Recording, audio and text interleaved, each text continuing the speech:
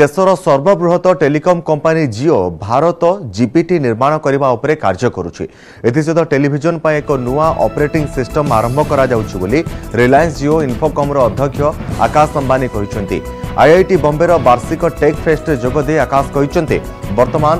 large language model ବା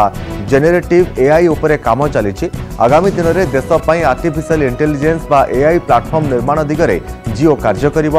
এই ক্ষেত্রে কোম্পানি গণমাধ্যম বাণিজ্য যোগাযোগ এবং নূয়া ডিভাইস উপরে মধ্য কার্য করা সে কিন্তু টিভি পাই জিও নিজের অপরেটিং সিস্টম উপরে বেশ কিছু সময় হব কার্য করুছি এখন কিপর শুভারম্ভ করা সে নিয়ে আমি ব্যাপক ভাবে চিন্তা করুছু বলে সে কিন্তু দশন্ধি শেষ সুদ্ধা ভারত পাঁচরু ছ ট্রিলিয়ন ডলার অর্থনীতিরে পরিণত হব কিছু বর্ষ মধ্যে ভারত বিশ্বক সবুঠার শ্রেষ্ঠ সেবা ও সবুঠার শ্রেষ্ঠ উৎপাদ প্রদান করিবার କେନ୍ଦ୍ର ଭାବରେ ଉଭା ହେବ ବୋଲି ଆକାଶ ଆଶାବ୍ୟକ୍ତ କରିଛନ୍ତି କମ୍ପାନୀ ଫାଇଭ୍ ଜି ଘରୋଇ ନେଟୱାର୍କ ପ୍ରଦାନ କରିବାକୁ ବେଶ୍ ଉତ୍ସାହିତ ଏବଂ ଯେକୌଣସି ଆକାରର ଉଦ୍ୟୋଗକୁ ଏହା ଫାଇଭ୍ ଜି ଷ୍ଟାକ୍ ପ୍ରଦାନ କରିବ ଜିଓକୁ ବିଶ୍ୱର ସର୍ବବୃହତ ଷ୍ଟାର୍ଟଅପ୍ ବୋଲି ଅଭିହିତ କରିଛନ୍ତି ଆକାଶ ଅମ୍ବାନୀ